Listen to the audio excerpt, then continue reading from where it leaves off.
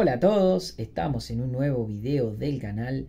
En este caso, bueno, vamos a estar hablando un poquito de, la actualidad del tenis. Eh, el domingo este, en la final del Challenger de Buenos Aires, Francisco Comesaña le ganó a Federico Coria la final y se quedó con el Challenger de Buenos Aires.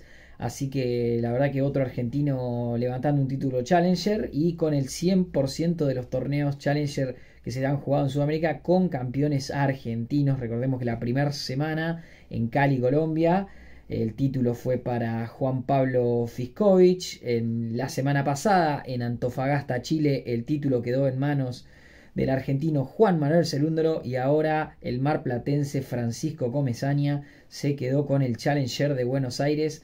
Así que bueno, ahora se van a un Challenger 100 a Villa María, lo cual esperemos también que quede en manos de algún otro argentino. Y después siguen la gira por Brasil.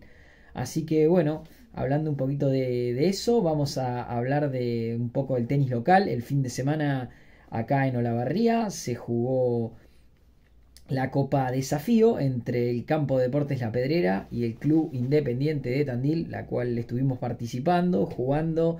La verdad que mucha gente que, viajó desde Tandil hacia Olavarría, se pasó un excelente fin de semana, se jugaron 70 partidos muy reñidos, muy peleados. Y la victoria y la Copa Desafío quedó en manos de La Pedrera por un score de 36 a 34. Así que, bueno, nada, felicitaciones a, todo el equipo, a Bernardo Palacios ahí, a toda la, gente de, la Pedrera y, bueno, también agradecerle a la gente de Independiente Tandil que encabeza Mariana Pérez Rodlán que vinieron hasta acá, hasta la barría y jugaron tremendos partidos. Ahora la revancha eh, va a ser el 16 de noviembre en 16 eh, y 17 de noviembre en Tandil. Bueno, acá estamos, eh, día miércoles, eh, semana de torneo. Vamos a estar viajando a la ciudad de Mar del Plata a jugar la Pinewood Open Cup. Así que bueno, es una. Siempre las semanas de, competencia y de torneo son bastante especiales. Eh, las vivo con, con bastante ansiedad.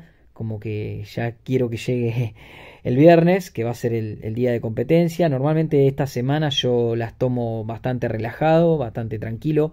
Siempre bajo un poco la, carga de, entrenamientos. Trato de hacer mucho canasto, de jugar también algunos puntos, de hacer unas eh, clases y entrenamientos bastante relajados.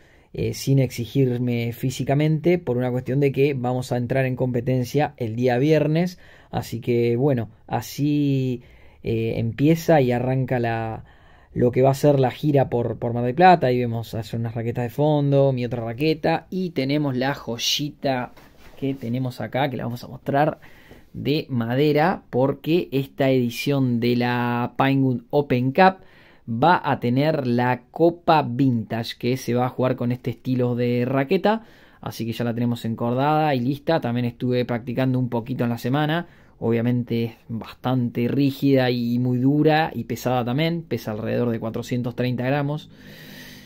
No tiene corazón y es 100% de, de madera lo cual dificulta un poco el juego y también el aro es de 85, lo cual la hace mucho más complicada, pero bueno, vamos a estar metiéndole con todo y tratando de dejar todo el fin de semana en la ciudad de Mar del Plata. Si les gustó el video, no olviden de darle like y no olviden de suscribirse al canal. Nos vemos la próxima.